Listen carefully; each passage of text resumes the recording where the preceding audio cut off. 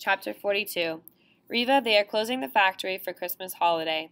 Helen, the camp elder, says, sitting down on my bunk heavily, The guards will be bored, so the commandant wants us to put on a show. We must give them some amusement, or they will find their amusement in the whip. She turns to the doctor, who is bathing my hand in a small basin. Can Riva leave the sick room? Can she come and read some of her poems? I don't know. Riva is still weak. I'm afraid the commandant may have her sent back to the factory if he sees her out of bed. She hesitates for a moment. Well, she has already told me that I am keeping Riva here much too long, but I don't know if we should take the chance. My eyes wander from one to the other. The doctor is trying to protect me, the camp elder trying to do what is best for all. I feel torn. I want to stay here in safety as long as possible. Still, if I can help calm the beast for a while, I must. I will be strong, Doctor. I will be part of the show. We must do the best we can, you always say. She smiles. The girls will be happy to see you. Helen puts her hand on my shoulder. Thank you, Riva. She leaves to search for more talent for the command performance.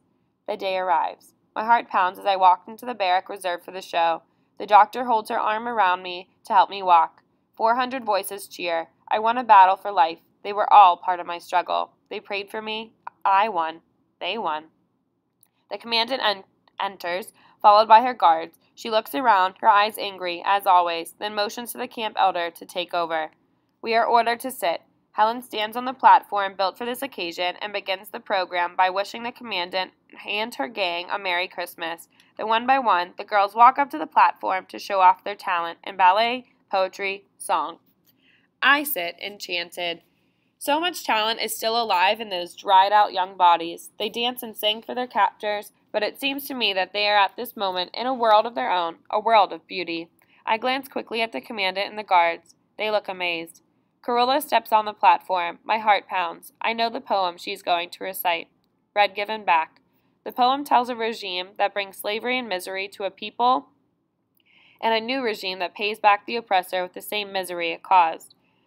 Carola recites the poem in Yiddish. Yiddish sounds a lot like German. If the Nazis should understand the message, a chill goes through my body as I listen to Carola finish in a strong, determined voice. The commandant bends over to the guard at her side. They whisper. The commandant shrugs her shoulders. I take a deep breath. They ignore the message.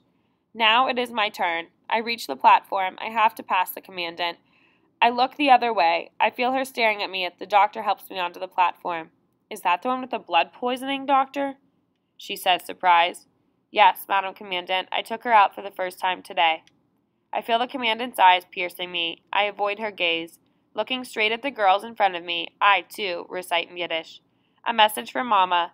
Blue little clouds, floating so free, won't you please carry a message for me? If on your journey you should see, happen to see, my mother. My voice cracks. My personal message to Mama is the message of the 400 Nazi victims in this camp to two to 400 mothers crying for their children. My voice becomes stronger. Tired, weary, left all alone, torn from her children, filled with sorrow and pain, please gently touch her. Please gently kiss her. Bring her my love. Tell how I miss her. Feel her pain. Feel her sorrow. Please tell her, my friends, she must live for tomorrow. If you see her tears, please wipe them. Tell her, soon, soon they will come the day when together again, together again we will be a mother, her child, a family, all free. Mama, dear Mama, please whisper for me. Today will vanish, believe. Soon your empty arms your children will fill, the sorrow will turn to joy. Tomorrow is near, dear Mama, please live. Be strong, we'll weather this storm. We'll find you, dear Mama, please do not despair. We will live, we will live to be free. I feel my knees bending. I feel hands grabbing me. Someone is carrying me. I open my eyes slowly. I am back in the sick room. Besides me sits the doctor. Welcome back, Riva. You made me a bit nervous. You passed out. She caresses my head softly. I should have kept you here to begin with. You were still too weak, and. She stops suddenly, her eyes in the doorway. I look up. Standing there in her brown Nazi uniform, club in hand, is the commandant. I lower my eyes. She has come to punish me for my poetry. She is going to send me away. I look at the doctor. She still holds her hands on my head, as if to protect me. Leave us, doctor, the commandant orders. The doctor remains standing by my side, her eyes angry and defiant. Leave us, please. The commandant's voice is softer now. The doctor moves slowly toward the door. My heart beats wildly as I watch her leave the room. I am all alone now. all alone with this beast who takes pleasure in punishing her helpless victims. Suddenly, she sits down on the edge of my bunk, her eyes studying my face intently. I lie still. She puts her hand in the pocket of her Nazi uniform and pulls out a small notebook. She tosses it into my blanket. I remain still.